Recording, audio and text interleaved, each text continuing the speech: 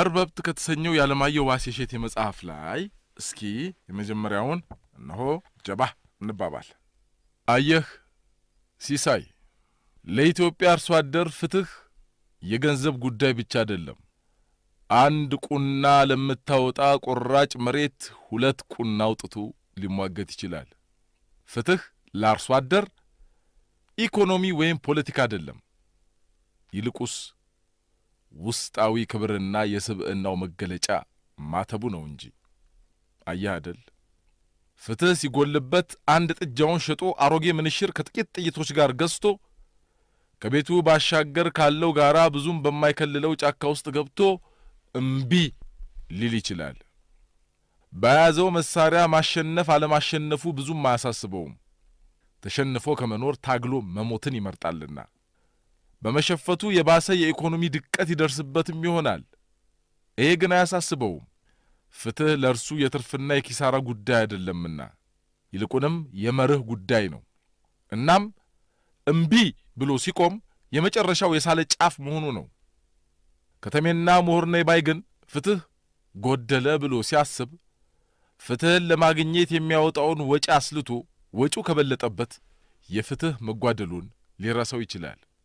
ልብ በል ወንድም ሲሳይ፣ ለዘመናት ሲወርድ ሲዋረድ የኖረውን እሴቱን ምሁራዊነትህ ባስተማረህ ተለባብሶ መኖር ስልት ልትተቸው አይገባም። በፈቃዱ ከሆነ ያሰባው ሙክት ሊያርድልህ ይችላል። መርጎ ያስቀመጠውን ቅቤና ማር ከፍቶ ያለ ስስት ያበላሃል። ያለ ፈቃዱ ግን ከጣራው አንዲት ሳር እንድትመዛ አይፈቅድልህም። እንዲያም ሲሆን በጉልበትና በጉራ ቡራ ከረዩ አይልም። በሕግ አምላክ ብሎ በፍትሕ አደባባይ ሊሞግትህ ይፈልጋል። ብታሸንፈው ፍትሕ እንጂ አንተ ባለመሆንህ ባይደሰትም አያቄምም። ፍትሕ ከተነፈገው ግን ያለውን ሁሉ ቀማኸው፣ የመኖር ሕልውናውን አሳጣኸው። ያኔ የሰላ ጫፍ ላይ ያደረስከው ማለት ነው። ከዚያ በኋላ እምቢ ይላል። የአርሶ አደር እምቢታ ሲጠራቀም ሥርዓት ይነቅላል። በኢትዮጵያ ታሪክ የሥርዓት ለውጥ ሁል ጊዜ ከዳር ወደ መሃል እንጂ ከመሃል ወደ ዳር ሄዶ ተሳክቶ አያውቅም። ለምን? ከተሜና ምሁር ተላላና ወረተኛ ስለሆነ። የንጉሡን ፖለቲካዋ ነቀነቀ የተባለው የተማሪ ሰልፍ እንኳን ተንጦ ተንጦ ተንጦ የተቋጨው ዙፋኑም የተገለበጠው ከጠረፍ ወደ መሃል ተጠራርተው በመጡ ወታደሮች መሆኑን ልብ በል። እንደገና የወታደሩ ወንበር የተገለበጠው በአርሶ አደሩ ከለላ እንደሆነም አስተውል። በከተሜና በምሁር የመጣ የሥርዓት ለውጥ በሀገራችን አልታየም። የሆነ ሁሉ በገጠሩ ሕዝብ ትከሻ ነው። ትከሻው ሲላጥ፣ ወገቡ ሲጎብጥ፣ እምቢ ሲል የተጫኑ ሥርዓት ይናዳል። እናም ሲሆን ፍትሕ እንዲያገኝ በደገፍከው ባትደግፈው እንኳን ግን ቢያንስ እምነቱን እስኪ አትንቀፈው፣ እስኪ ሰባ በመቶ የሚሆነውን የሀገሪቱን የኢኮኖሚ ሀብት የሚያመነጨው አርሶ አደር ነው። የሚመደበው በጀት ግን አብዛኛው ለከተሜ ነው። ከተሜ መኖሪያ ቦታ አጣሁ፣ ሰፈሬ አስፓልት የለውም፣ ውሃና መብራት ተቋረጠብን እያለ ብሶቱን ይገነፍላል። ከተሜዎች ትናንት የጠፋው መብራት ዛሬ አለመምጣቱ ያበሳጫቸዋል። የገጠር ልጅ ግን መብራት መኖሩን እንኳን አያውቅም። የአርሶ አደሩ ሚስት አሁንም 25 ኪሎ ግራም የሚመዘን የሸክላ ማድጋ ተሸክማ አንድ ሰዓት ተጉዛ ውሃ ትቀዳለች። ከተሜዎች ትናንት የሄደችው የቧንቧ ውሃ ዛሬ ባለማምጣቷ ይማረራሉ። የገጠሯ ሴት ግን በሕይወት ዘመኗ ውሃ ከደጇ ስለ መምጣቱ እርግጠኛ አይደለችም። ከተሜ ጠጠር የለበሰው የሰፈሩ መንገድ አስፓልት ባለመሆኑ ይማረራል፣ ያማረራል። የገጠሯ እናት ግን ልትወልድ በምጥ ተይዛ ደሟን እያዘራች በሚጎረብጥ እንጨት ተሸክመዋት ሕክምና ፍለጋ ወደ ከተማ ለሰዓታት በጭንቅ ትጓዛለች። ባሏ አፈር መስሎ አፈር እስኪሆን ራሱ በሠራው ማረሻ መሬት እየሰነጠቀ ኋላ ቀር እየተባለ ዘመነኞችን ይቀልባል። በዚች አገር እንደ አርሶ አደሩ በላቡ በወዙ የሚኖር ማን አለ? ፖለቲካ ያቅ ይሆናል። ምሬቱ ሲበዛበት ግን ገልብጦ መጣል ያውቅበታል። ሰላማዊ ሰልፍ አይወጣ ይሆናል። እኛ ምን አውቀን ይሆናል እንጂ እያለ በዝምታው ግን ያንኮታኩተሃል። መንግሥት ቢያቀርብለት ጨው ላምባና ማደባሪያ ነው። በተረፈ የእርሱ ጥራጥሬ፣ ሰሊጥ፣ ቡናና የከብቶች ቆዳና ሌጦ ተሽጦ በሚገኝ የውጭ ምንዛሪ ቀራቀንቦው ሸቀጥ ዘመናዊ መኪናው ቢገዛ ለእርሱ ምኑ ነው? ይህን ሁሉ ተሸክሞ ለሚኖር አርሶ አደር ቢያንስ ሕሊናውን የሚያሳርፈውን ፍትሕ እንዴት ትነፍገዋለህ? እንዴትስ ትነቅፈዋለህ? በማተቡ ኗሪ ነውና ፍትሕ ይፈልጋል። የገጠሩ ኅብረተሰብ የተፋጠነ ፍትሕ ከመንግሥት ቢጠብቅ ከውለታው ጋር ሲነጻጸር በእጅጉ ያነሰ ነው። ይህንን አላገኝ ብሎ ሲንከራተት ማየት ግን ልብ ይሰብራል። አደፍርስ ከተሰኘው የዳኛቸው ወርቁ ልብ ወለድ ላይ ደግሞ ሀምሳ አንደኛው ምዕራፍ ልጋብዛችሁ። ለመሆኑ ጋሽ ጥሶ አንድ ነገር ልጠይቅህ። መቼም ባህላችንን ከመረመርን ጥሩ ጥሩ እውነትና እምነት ይገኝባቸዋል የሚል አስተሳሰብ ስላለህ ምናልባት መልስ ይኖር ይሆናል። አይ መልስ ባይኖረኝም እውነት ያጣሉ ብዬ አላምንም። እሺ የኢትዮጵያ ነገሥታት የሰለሞን ዘሮች ናቸው በሚባለው ታሪክ ትስማማለህ? ታምንበታለህ? እንዴታ መስማማቱን ተወውና በእርግጥ አምንበታለሁ። የሰለሞን ዘር ከሰማይ በታች ከምድር በላይ ለሰለሞን ያልተገለጠ ጥበብ እንዳልነበር አታውቅም እንዴ? እኮ ስለ ንግሥተ ሳባ፣ ስለ ቀዳማዊ ምኒልክ፣ ስለ ምን አዘረዘረ አትድ ከማምንበታለሁ ብያሃለሁ። ሌላ ጥያቄ አለኝ። ታሪክ ስትል ምን ማለትህ ነበር?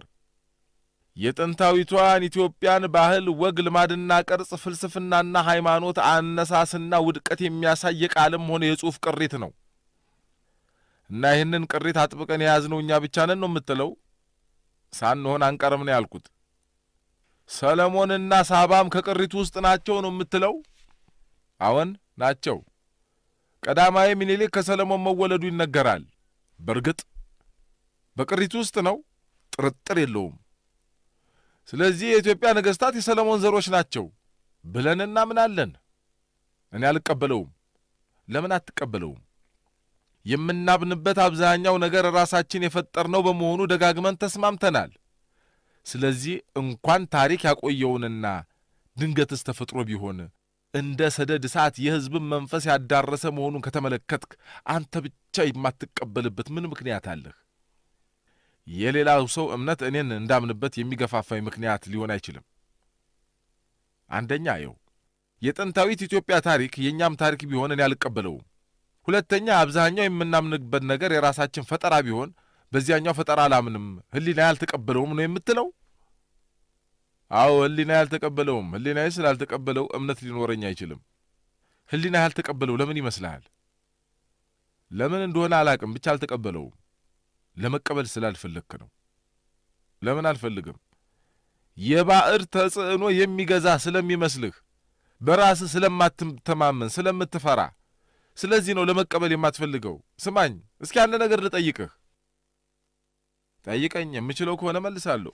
ዘመናዊ ስልጣኔ እንደ ጋንዲ፣ እንደ ኬኔዲ፣ እንደ ኪንግ ያሉ የፖለቲካ መሪዎች፣ እንደ ኢየሱስ፣ እንደ መሐመድ፣ እንደ ቡድሃ ያሉ የሃይማኖት መሪዎች፣ እንደ ናፖሊዮን፣ እንደ ደጎል ያሉ ጀኔራሎች ለማፍራት እንደ ጣረች ነው ሁልጊዜ። አዎ እንደ ጋሊሊዮ፣ እንደ ኒውተን፣ እንደ ኤንስታይን ያሉ የሳይንስ ሊቆች እንደ ቤትሆቨን፣ እንደ ሞዛርት፣ እንደ ዮሐንስ ስትራውዝ ያሉ ሙዚቀኞች፣ እንደ ሊዮናርዶ ዳይቬንቺ፣ እንደ ራፋኤል፣ እንደ ሚካኤል አንጀሎ ያሉ ከያንያት፣ እንደ ዶስቶቭስኪ፣ እንደ ሼክስፒር ያሉ ደራሲያን፣ እንደ ፎክሌረር ደግሞ ጥሩ ነው ጥሩ ነው፣ በዘመናዊ ስልጣኔ ዓላማ ተስማምተናል ማለት ነው። በዚህ ዓላማ ከተስማማን ዘንድ እንግዲህ ኢትዮጵያ በበኩሏ ከሆነላት እንደ ሰለሞን አይነት ጠቢብ መሪ ማግኘትን አርማ ማድረጓ እንዴት አዲስ ነገር ሊሆንብ ቻለ? ደግሞስ በሙሉ ልባችንና አእምሮአችን ካመንበትና ከፈለግነው ሰለሞንን መሰል መሪ በኢትዮጵያ መሬት ላይ የማይበቅልበት ምን ምክንያት አለ?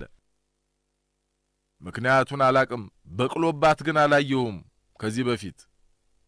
ተሳስተሃል እንግዲህ የኔ ልጅ ብዙ ብዙ ጠቢባን ብፁዓን ቆራጥና ኮምጫጫ የሆኑ ሰዎች በቅለውባታል ኢትዮጵያ።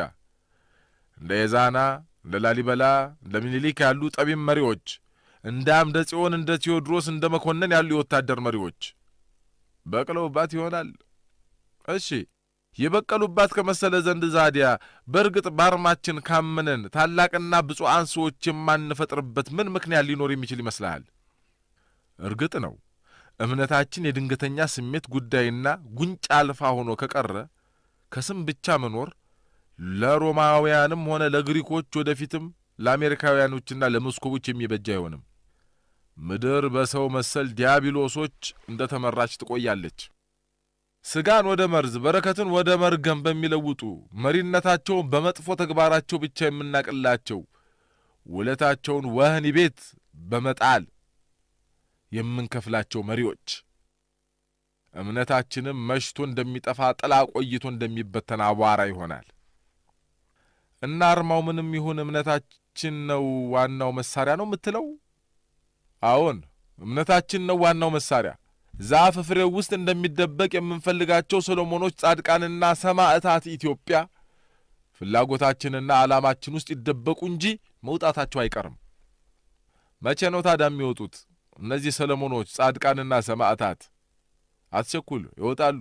ነበሩ፣ አሉ፣ ይኖሩናል። በአርማችን በእምነታችን ውስጥ ስለ ተደበቁ የሌሉ አይምሰልህ። ፍርሃት የለሽ፣ ስስት የለሽ፣ ፍርድ አዛቤ፣ የጥበብ ምንጮች የሚሆኑ ሐዘንን ደምሳሽ፣ ብስጭትን አጥፊ፣ ሕይወታቸው የኢየሱስን መንገድ የተከተለ በማጣት የማይጨነቁ በማግኘት የማይፎክሩ በጠቅላላው ለዓለማዊ ድሎት የማያፈችሉ ጽኑ፣ ብሩህ፣ ታጋሽ፣ እርጉ ሰለሞኖቻችን ጻድቃኖቻችንና ሰማዕቶቻችን ይወጣሉ ከየፍሬዎቻችን። ከእኛ የሚፈለገው በእምነታችን ብቻ ጸንቶ መገኘቱ ነው።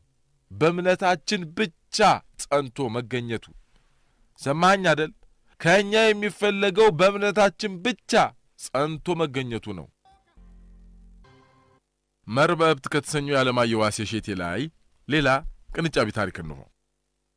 በአገራችን በርካታ ለዘመናቸው አስፈሪ የነበሩ ክስተቶች ጊዜያቸው አልፎ ሲሰሙ ደግሞ አግራሞትን የሚጭሩ አንዳንድ ታሪኮች ትዝ አሉት።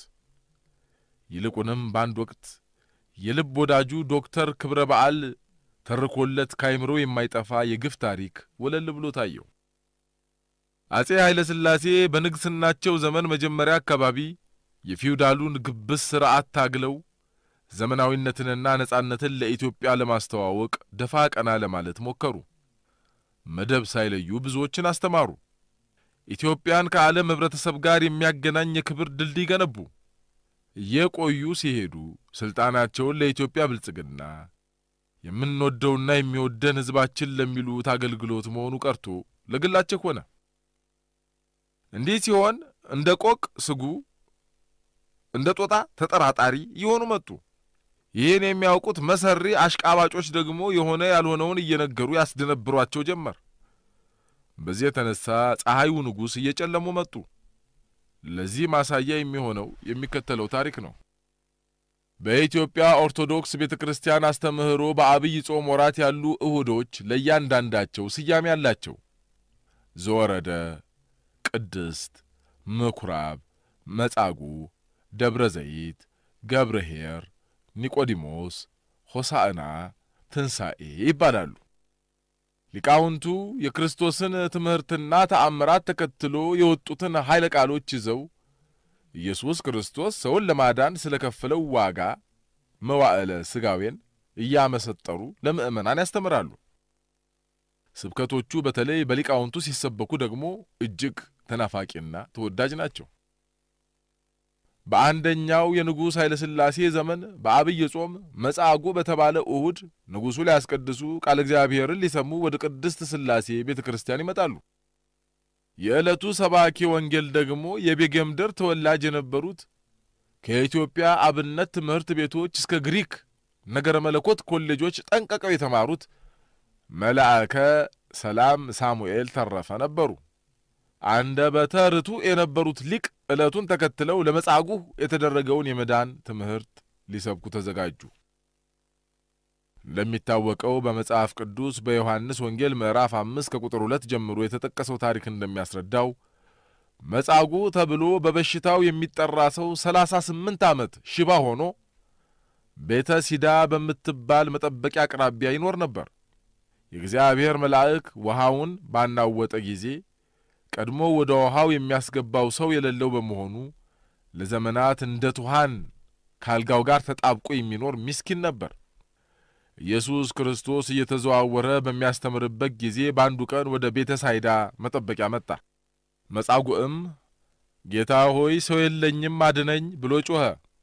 ሁሉን የሚያውቀው ክርስቶስም አዘነለትና በቃሉ ማዳን አልጋህን ተሸክመህ ሂድ አለው። ወዲያው ድኖ አልጋውን ተሸክሞ ሄደ። ለትምህርት ርዕስ ከንባቡ ውስጥ ኃይለ ቃል መምረጥ በሊቃውንት የተለመደ ነውና መልአከ ሰላም ሳሙኤልም የዕለቱን ከላይ የተገለጸው ጭብጥ የያዘውን ስብከታቸውን ተነስ አልጋህን ተሸክመህ ሂድ በሚል ርዕስ አስተማሩ። ሥርዓተ ቅዳሴው ተጠናቆ የሕዝብ ስንብት ከሆነ በኋላ ንጉሡ ወደ ቤተ መንግሥታቸው ተመልሰው ቁርስ ሲቀምሱ አሽቃባጭና ጸጉር ሰንጣቂ ደህንነቶች ወደ ንጉሡ ጆሮ ጠጋ ብለው የዛሬው ትምህርት እኮ የጤና አይደለም አሉ። ንጉሡ በተገኙበት ጉባኤ ተነስ አልጋህን ተሸክመ ሂድ ማለት እንዴት ያል ድፍረት ነው ብለው ተንኰላዊ መረዳታቸውን አመሰጠሩ። እንግዲህ በሌላ ትርጓሜ አልጋ የሥልጣን የዙፋን ተምሳሌት ነበር።